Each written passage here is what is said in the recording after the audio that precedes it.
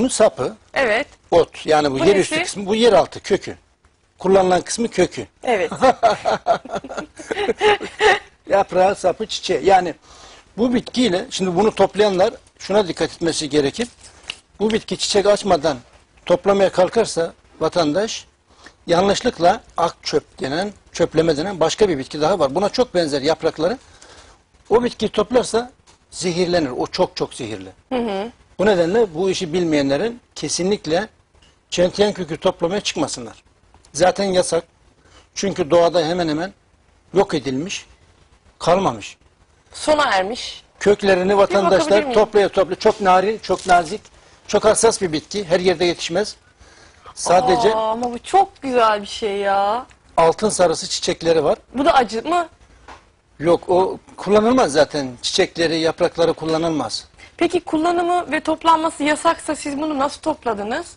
Ha bir arkadaşım Yasakları mı derdiniz? bir arkadaşınız kaçamak yapıp otların içerisine girip özel televizyon programı için rica ettim. Sadece bir numune olarak anlatmak için. Yani bu çok Peki, özel, çok nadir yarar? ve hassas olan bir hastalığa karşı kullanılır bu. ne işe yarar? Ee, bazı bayanlar meslek yapmak için, kariyer yapmak için e, yemelerine, içmelerine dikkat ederler. E, basenlerinin dikkat ederler. Göğüslerine. Anne olmak istemezler. Annelikle Mankenlik gibi bir kariyer şey yapmayı acaba? birbirine zıt görürler. Bu nedenle de yemelerine, içmelerine çok dikkat ederler. Yavaş yavaş zayıflamaya başlarlar. Evet. Bu hastalık haline gelirse sinirsel anoreksi denen hastalık ortaya Anoreksiya. çıkar. Evet. Aşırı zayıflama Yememe hastalığı. Yememe artık önce sindirim salgıları yavaş yavaş yavaş yavaş azalır. Adet görmeme problem ortaya çıkar. Adet göremez Hormonlara hale gelir. girer yani olay. Hormonlar bu, hormon dengeleri bu. Adet göremez hale gelir.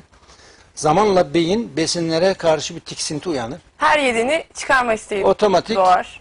Evet yani onu istemez. Bunu tiksinti vücudu. Bu şekilde hayattan kopar yavaş yavaş zamanla. Evet. Yani zayıflayacağım derken anoreksiye yakalananların yüzde onu sonu ölümle Ölümle bitiyor. sonuçlanıyor. İntihar ediyor. Çok çok tehlikeli bir hastalık. Fakir ülkelerde olmuyor bu. Bunun ismi neydi? Çentiyan. Öldürmeyen çentiyan öldürmüyor o zaman. Yani bu tip Bunun rahatsızlıkların kökü çözümü müdür bu? Çentiyana karşı kullan şey anorok sinirsel anoreksiye karşı kullanılan bir bitki. Nasıl Rast- kullanılıyor? kökünden az bir şey şöyle rendelenir. Şu kadar 2 gram 3 gram demliğe konur acı olduğu için e, çay gibi içilir gün boyu 1 litre hazırlanır. 1 litre kaynar suya 2-3 gram ince ince kıyılır. Fakat yok ki Türkiye'de yok. Yani Bu o zaman yemek Yok yeme edilmiş. yenmesini mi sağlıyor? Anlayamadım Ha. o. Şimdi ben bu rahatsızlığa sahibim. Yemek yiyemiyorum. Sinir sistemim bozuldu. Hormonlarım alt üst oldu. Ölmek üzereyim. Ve kalkıyorum bunu buluyorum. sindirim salgılarını yavaş yavaş Tedavi artırır, ediyor. tedavi eder. Fakat daha çıkmalarına gerek yok. Bizim özel bir ürünümüz var. Aromatik limon suyu vesaire. İsim vermiyoruz. İsim vermiyoruz. Daha çıkmanıza gerek yok. Daha çıksanız da bulamazsınız. Bulsanız da ak çöpleme denen zehirli bir bitkiyle karıştırma tehlikesi var. O bitkiyle karıştırdı mı o çok çok zehirli hemen öldürebilir. Birkaç gramı dahi öldürebilir. Yani bu tip rahatsızlığa sahip olanlar hani bu bitkiyi bulamadılar, toplaması yasak, aranıyor, bulamıyor falan filan. Bunların hepsini ayırıyoruz. Hazır bizde ürünü Ve var. sizde bunun İçilecek anoreksinin, anoreksiya mı? Anoreksi. Anoreksiya rahatsızlığının tedavisinin şey var. Nedir o? Sıvı halinde mi? Sıvı halde. Sıvı halinde. Günde 3-4 defa 2 yemek kaşığı içtiği zaman tekrar sindirim salgıları yemesi içmesi düzelir. Normale dönüyor. Normala döner. E, güzel, süper. Peki o karışık ne orada? Arap saçı mı? Arap saçına benzeyen ısırgan Bakayım. kökü. Bu benim beynime benziyor şu anda. Isır... Isırgan kökü mü? Isırgan kökü Türkiye'de yani bazı aylar e, 50 liraya dahi bulamıyoruz bunun kilosunu. Çok çok pahalı. Çentiyanın çok daha pahalı. Bu 100 liraya bulamazsınız çentiyan kökünü. Isırgan kökü 50 liraya bulunamıyor.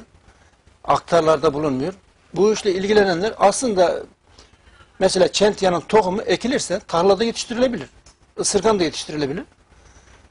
Bunun yani patates ekeceğine kişi çentiyan ekse veya ısırgan ekse yani bunun kilosu 50 lira, onun kilosu 100 lira. Büyük bir ekonomik gelir elde edebilir insanlar. Peki bu ne işe yarıyor? bu prostat büyümesine karşı, iyi huylu prostat büyümesine karşı ısırgan kökü, ardıç tohumu, yakı otu, yakı otu, o da mavi çiçekli güzel, onu da getirmedim. Bir dahaki sefere onu getireyim. yakı otu, at kuyruğu otu. Ee, bunlar ortak aynı oranda karıştırılır, çay harmanı yapılır, içilirse prostat büyümesine ve iltihaplanmasını önler. Şimdi her kadının bir gün hayatının hayatının belli bir bölümünde menopoza giriyor ve her erkekte belli bir bölümünde ve belli bir yaştan sonra prostat rahatsızlığına Yakalan- rahatsızlığıyla karşılaşıyor. Çok insanlarda var prostat rahatsızlığı. Yani çok nadir olmayan. Ee, yani o prostat rahatsızlığı, rahatsızlığıyla karşılaşıldığında bu mudur çözümü diyorsunuz? budur. Almanya'da bunun hapını dahi yapıyorlar. Ama kökü varken hapına gerek yok. Almanlar bunun hapını yapıyor. Artı yelpaze palmiyesi denen bir palmiye var. Türkiye'de yetişir. Ege ve Akdeniz bölgesinde. Onun meyvesiyle bu karıştırılarak eşit oranda çay yapılabilir ama sadece ısırgan kökü, yakı otu, e, at kuyruğu otu, ardıç kozala bunlar da yeterli. Altın başak otu buna ilave edilebilir. Yani yelpaze palmiyesi öyle kolay bulunan bir palmiye değil. O nedenle ona gerek yok. Olmasa da olur. Anladım. Isırgan otu tek başına da kökü, tek başına da yeterli prostat büyümesine ve iltihaplanmasına ama diğer bitkilerle çay harmanı yapılırsa tedavi süreci kısalır ve daha etkili. İdrar yolları enfeksiyona daha iyi gelir. O karışım. E Zaten onunla alakalı bir rahatsızlık olduğu için prostatta. Peki bu şu anda kullanılır hali midir? Hayır, bu. İnce ince kıyılacak. Hayır kıyılması haricinde yani kuruluğu işte beklemişliği falan filan hepsi Fark etmez. Bu, bu, haliyle. taze ne de kadar saklanabilir bu? bir yıl bozulmaz, bir şey olmaz. Ha bir yıl. Yani bir şimdi iki yılda durabilir de şöyle şifalı bitki kurutulduktan sonra yavaş yavaş bunun birleşimindeki etken maddeler havaya karışır. Yavaş yavaş çözülür. Doğru, doğru. Eterik yağlar yavaş yavaş çürür. Hani bir yıl içerisinde tüketilirse iyi olur. Bir yıl bozulmaz. Bir yıl bir şey olmaz. Biz sizi her hafta konuk ediyoruz burada. Gayet keyifli sohbetler ediyoruz. Gayet güzel bilgiler alıyoruz. Özellikle ben kendi adıma bitkilerle çok aşırı neşir olduğum için büyük bir şaşkınlıkla izliyorum, dinliyorum ve öğreniyorum. Anlaşılan o ki her türlü rahatsızlığın e, bir tedavisi var bu bitkilerle. Tabii mutlaka. Zaten Almanya'da bu binlerce insan üzerinde ısırgan köküyle ilgili klinik araştırmalar yapılmış. Mesela Finlandiya'da bir ara E vitaminiyle prostat rahatsızlarını tedavi etmek istediler. E vitamini tedavi edeceğine normal iyi huylu prostat büyümesini kanserojen duruma çevirdi. Önce büyük bir reklam, medyada büyük bir pohpohlama, büyük bir e, şey yapıldı. Fakat 5000 kişi üzerinde denendiğinde E vitaminin çok çok büyük yan tesirleri ortaya çıktı. Panik oldular. Bunun üzerine daha yoğun araştırmalara başlandı. Acaba neyle tedavi ederiz diye. Isırgan kökünü buldular. Isırgan köküyle ve diğer bitkilerle elde edilen çay karışımları, hapları, drajeleri, tentürleri var. Binlerce insan üzerine denendi. Etkili. Isırganın kökü prostata karşı dünyada en etkili bitki. Isırgan yaprağı da e, kan temizleyici olarak romatizmaya karşı kullanılır. İdrar yolları enfeksiyonuna karşı kullanılır. Hangi rahatsızlığa karşı kullanacaksa ona uygun bitkilerle karıştırmak gerekir. Mesela romatizmaya karşı ısırganın yaprağı, sapı, çiçeği kullanılabilir. Artı alt, alt- altın başak otu, civan perçem otu, at kuyruğu otu, ardıç kozala bunlarla karıştırırsa hem idrar yolları enfeksiyona karşı hem de romatizmaya karşı kullanılabilir. Peki sadece ısırgan mesela marketlere gidiyoruz böyle e, benim en büyük e, merakımdır Mar- bir markete girdiğimde e, bütün bitki çaylarından almak ısırganı otu şusu busu falan filan hepsini denemek isterim sevdiğim için normalde çok fazla çay içen bir insan değil mi bitki çayından hoşlanıyorum. Dolayısıyla orada bir ısırgan çayı da var ısırgan otu çayı da aldım duruyor evde. Yani İçilebilir, o problem içilebilir değil, mi? Şöyle yalnız e, yapar mesela ama? sizin vücudunuz alışkın değilse ona yavaş yavaş alışmak lazım. Mesela Almanya'dayken bir Alman bana geldi dedi ki üşüttüm, gribim, nezleyim, çok perişanım ne yapayım? Isırgan otu çayı iç dedim. Ne kadar içeyim? 2-3 bardak iç dedim. O da 5-6 bardak içmiş. Sabah geldiğinde bana ya neden söylemedin? Ne söylemedim? Çok etkili bu dedi. Sabaha kadar 4-5 pijama değiştirdim. 2 yorgan değiştirdim. Terledi. Çok terlemiş. Terin suyun içinde kalmış. Hiç uyuyamamış. Ha, yok ben öyle. Dedim ki ya ben 1 litre içiyorum. Bana bir etkisi olmuyor. Çünkü benim vücudum alışkın. Evet. Ben 1 litre de içsem 2 litre de içsem bana etki yapmaz. Fakat o vatandaş o şifalı bitkiyi ilk defa denediği için o insan Onda çok büyük bir tepki oluşmuş. Yani siz mesela bu şifalı bitkileri çok çok içmediyseniz, denemediyseniz dozajı az bir dozajla. Yok yok yavaş çok yavaş. çok içiyorum. Ya bir poşet atıyorsunuz. Abi poşetten bir şey olmaz. Ha ondan yani bir ara ben yeşil çaya çok fena, fena takmıştım. Ee, çok ciddi bir şekilde yeşil çay içiyorum ama saati var. Gece 11 yeşil çay içiyorum falan. Sonra bir öğrendim ki yani yeşil çay içtiğin zaman uyuyamazmışsın. Onun içerisinde kafein varmış. Yeşil çayın yan tesirleri de var. Evet. Şimdi Ağustos ayında dahi kişi yavaş yavaş vücudu üşür. Üşüme belirtileri ortaya çıkar. Yani sürekli düzenli içerse kişi a- yani tropik ülkelerdeki insanlar içiyor. Orada çok sıcak olduğu için serinletici. Fakat Türkiye tropik değil. Evet. Ortada. Ortada. aşırı yeşil çay içti mi aşırı soğuma olur. Yani yazın bile kişinin üşüyebilir. Yok o kadar çok içtim ki böyle bir ara bir süre sonra artık kokusu ve tadı bana kötü gelmeye başladığı için şu an yeşil çayla olan bütün ilişkimi e, bağımı koparmış durumdayım. Diğer çaylara bir, bu ara Melisa takıntım var. Melisa mesela. güzel. Evet. Melisa Melisa'yı herkese tavsiye ediyorum şiddetle. hiçbir yan tesiri yok. O Uzun süre kokusu, kullanılabilir. sakinleştirici Sakinleşti. şeyi. Sinirler için iyi, kalp Evet, için, mide evet. için. Üç ayrı özelliği var. Evet. Çok çok enteresan ve güzel bir bitki. Şimdi diğer bitkilerimiz. Bu diğer altı bitkinin ortak özelliği faranjite karşı. Yani boğaz ben yatıyorum iltihap- tabii bu arada okuyabilmek için. iltihaplanması. Zaten miyopum hocam ne yaptınız uzaklaştırmış. Papatya. İyi bugün büyük yazmışsınız. Büyük yaz. Papatya, ebe, ebe Edem gömeci, gömeci, edem gömeci, kekik, ada çayı, ada çayı, hatmi, hatmi, nane. nane. Bakın bugün yeni bir şey getirmişsiniz siz. Hatmi. Hatmi. Hatmi ve ebem gömeci. Alalım mı onu bu tarafa? Uzağa da koymuşsunuz. Şuraya bir diz çökeceğim. Bakayım. Hatmi. Ay çok Güzel, güzel, çiçekli, kokuyor. güzel kokulu. Evet. Ee, bu altı bitkiden eşit oranda karıştırılır. Diyelim, Altı tanesi. Altısı altı, karıştırılıyor. altı. Evet. Eşit oranda karıştırılır. Bu karışımda iki yemek kaşığı termosa konur. Üzerine bir litre kaynar su. Evet. 10 dakika bekledikten sonra gün boyu içilebilir. Ne için? Genellikle mesleği, icabı çok konuşmak zorunda olan insanlar. Politikacılar. Biz miyiz yoksa biraz? Siz mesela medya, sürekli medya evet. konuşan insanlar veya imamlar, öğretmenler yani çok sık konuşmak zorunda kalan insanların boğazı tahriş olur. Fakat bir de yanlış besleniyorsa bağırsaklardaki mantarların üretmiş olduğu toksik madde etan, metan, bütan gibi gazlar, etil alkol, metil alkol, bütil alkol gibi alkoller alttan yukarı doğru yavaş yavaş yukarı çıkar. Boğazda yanmaya sebep olur. Boğaz bu zehirli gazlara alışkın olmadığından tahriş olur, tahrip olur. Sonra biz de ona reflü mü olduk acaba deriz. Değil mi? Evet, reflü değil aslında. Aslında değilmiş. Bağırsaklardan gelen gaz. Evet. Sıkışma yapar. Evet. Bu da zamanla tahriş ve tahrip ettiğinden boğazı, kişide boğaz iltihaplanması daha sonra kronik bronşite, kronik faranjite sebep olur. Faranjit üst solunum yolu rahatsızlığıdır. Boğaz iltihaplanması. Boğaz iltihaplanması. Ve bu ona iyi geliyor diyorsunuz. Evet. Tabii Yani ki her zaman söylüyoruz sevgili izleyicilerimize de. Yani tabii ki doktorlara, hekimlere gideceğiz. Başımızın tacı Allah onları başımızdan eksik etmesin. Fakat bir de böyle bir durum sö- söz konusu. hani antibiyotik kullandıkça faranjit daha da ağırlaşır. Neden? Çünkü antibiyotikler faydalı bakteriler, bağırsaktaki faydalı bakterileri yok ediyor. Bağırsak florasını bozuyor. Zararlı bakteri ve mantarlar çoğalıyor. Evet. Zararlı bakteri ve mantarlar çoğaldıkça onların üretmiş olduğu toksik madde de çoğalıyor. Ya, Toksik madde evet. arttıkça zehirli gazlar, zehirli alkoller altta durmuyor, yukarı doğru çıkmaya çalışır. Ya antibiyotiğe karşı bir sıkıntım, bir alerjim falan yok. Her türlü antibiyotiği alabiliyorum ama antibiyotik benim resmen oryantasyonumu bozuyor. Yani özellikle ağır antibiyotik aldığımda baş dönmesi, yürürken böyle yürüyememek, mide yanması sıkıntılar falan oluyor. Ve bu son 10 gündür yaşadığım bir öksürük var.